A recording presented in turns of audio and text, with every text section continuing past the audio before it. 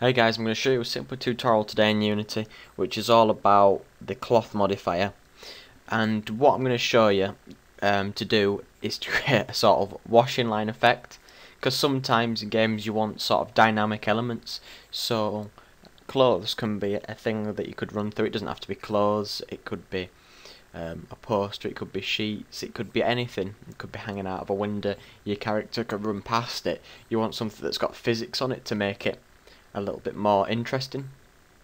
Um, so really, all I've got in my scene is a plane, a directional light, and a first-person controller. All I've got here is just my. Um, if you see the object floating, that's gonna. Here you'll see the object floating, and that's just going to be my my washing line for this example. And what I want to do is go to game object, create other, then go to cloth, and you'll get a the cloth. And you'll get the cloth system out. But the problem with this cloth is the fact that it is actually on a plane in itself. And with it being on a plane you can't see behind the plane. So it can be a bit of a problem. You can make it um, two-sided in a way. But really the way I the way I'm going to do it is all I'm going to do is I made some meshes in 3ds Max and put some edge loops in it because you need edge loops to actually let the uh, mesh bend as if it would realistically. So I've got a box here that I created and I need to rotate it.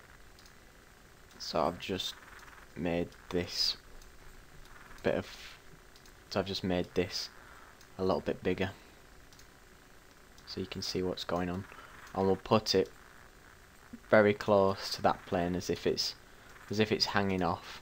Maybe make it a little bit bigger.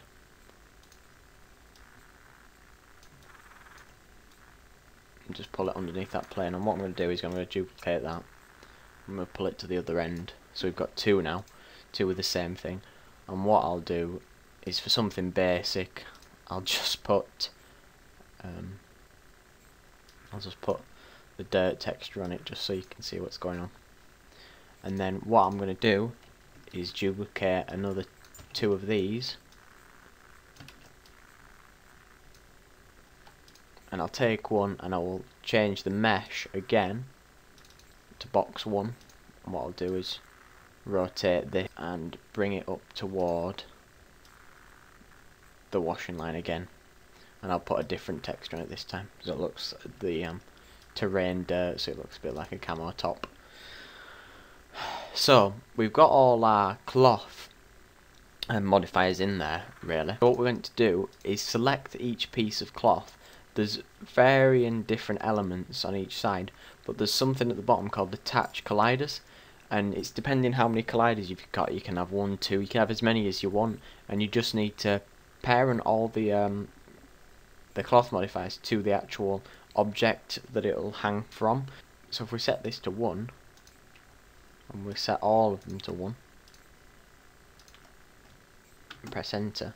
We get an actual collider option. And what we're going to do is we're going to change that to cube 1 I've got to press enter. So we can just drag that in. Cube 1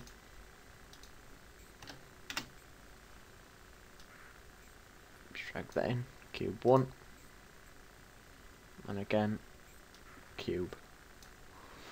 Now, that's all we really need to do for those. You can adjust varying amounts of settings, but what I'm going to show now is I can run around in the scene and I can run into each of the objects and they'll act like they would if they were on an actual washing line in your game so you can actually it actually acts like cloth would and it gives you an inter interesting effect and something very basic that you can use just to simulate all sorts of different things in your game really easily.